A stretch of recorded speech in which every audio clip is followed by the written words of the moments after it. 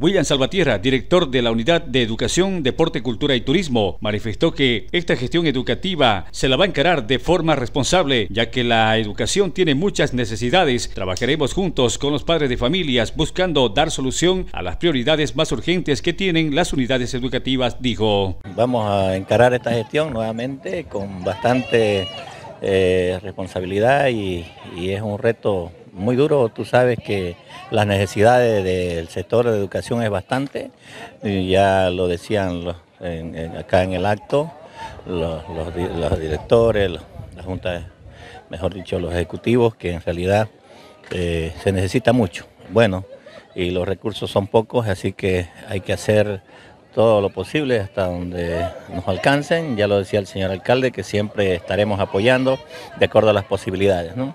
tanto en infraestructura como bien lo decía, que se requiere mucho, bastante y, el dinero pues no alcanza. ¿no?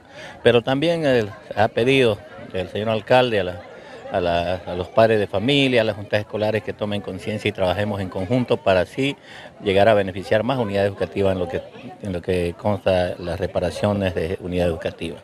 En el caso de acá, de Galilea, eh, se van a hacer dos aulas, ¿no? se le va a dotar el material eh, a, los, a, padres de familia y ellos se comprometieron a hacer, poner la mano de obra. Como tú ves, acá está llegando el material, ya en las próximas horas llega lo que falta y empiezan a trabajar. Creo que de esa manera coordinada con los padres de familias y los directores vamos a llegar y vamos a mejorar la calidad de, pues me he dicho, de infraestructura en nuestra unidad educativa que lo requiere mucho. Wilman Guardia, agente comunal de la comunidad Galilea, expresó sus agradecimientos al alcalde municipal por dotarle del material de construcción. Nosotros como padres de familias pondremos nuestra contraparte para esta construcción y nuestros hijos pasen clases más cómodos. Damos gracias al alcalde, al honorable alcalde, no por, el, por ese desprendimiento que siempre nos ha atendido y digamos de acuerdo a las posibilidades del municipio, porque entendemos que no hay,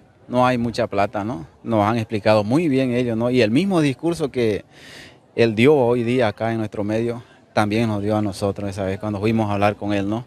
Y así que quedamos un acuerdo, ¿no? Y la comunidad está poniendo su contraparte. El, municipio nos está dando el material y nosotros vamos a hacer la mano de obra. Así que esa es la manera, ¿no? Y, yo doy gracias al Señor porque está iluminando, ¿no? El alcalde y está buscando la manera de cómo solucionar las necesidades de cada colegio, porque es grave, ¿no? Como eh, explicaba, como declamó la niña, ¿no? Hay muchas goteras, ¿no? Y eso es verdad, pues. Pero esperamos, ¿no? Y tenemos fe, ¿no? De que a fin de año esas necesidades sean, sean paliadas ya en manera compunada con el municipio.